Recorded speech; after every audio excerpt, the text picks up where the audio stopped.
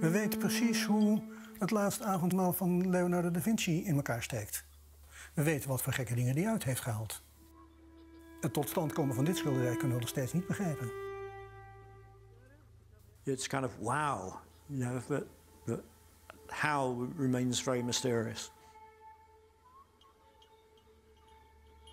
If you come at it as the average member of the public, you probably say it looks photographic.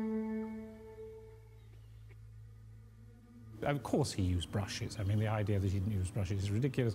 But, but it's, you know, it's part of this self mythologizing aspect of, of, of, of Terentius. Of het nu om zijn religieuze opvattingen gaat, in erotica, zijn persoonlijkheid. Ja, echt de, de verkeerde man op de verkeerde plek zo'n beetje. En hij zag misschien niet dat daar uitgestreken dominees geheel in het zwart gekleed stonden te wachten om eh, zijn ziel te verpletteren. I suspect that Terentius liked risk. He liked playing with fire.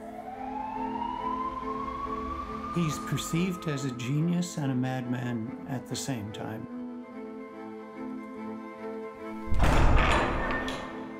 Orde en tucht moest er zijn. Hè? Er moest orde zijn in de samenleving. And the scout is calling for, for burning at the stake. I mean, this is absolutely extraordinary. Anachronistisch gezien uh, barbertje moet hangen.